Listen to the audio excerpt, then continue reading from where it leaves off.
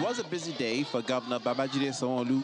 First, he visits Ogba Ijaye, Pen Cinema Agege to commission 48 units of the Lagos Building Investment Company apartments that will help reduce housing challenges in the state.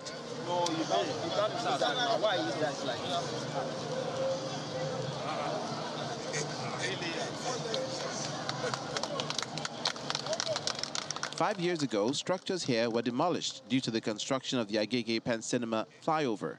Today, new apartments are being delivered to those affected by the remodeling of the Agege area.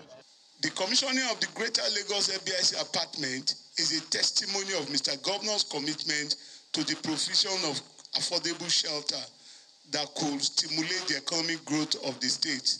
Hence, the THEMES agenda is working. It's a good feeling for the beneficiaries as they receive their new homes. About five years ago, during the tenure of His Excellency Ambode, our flat, which we lived for almost 30 years, were demolished. We were devastated. All hopes were lost. But we are here today to collect the keys to our apartment.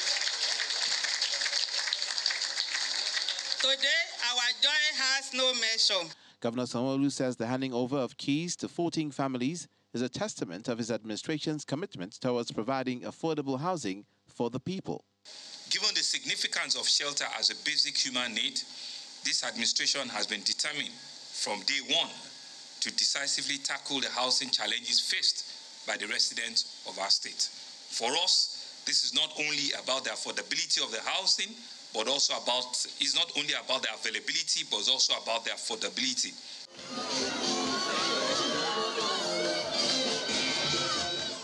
Then he moves to Vetland Junior Grammar School, also in Agege local government area, to commission the remodeled government-owned school.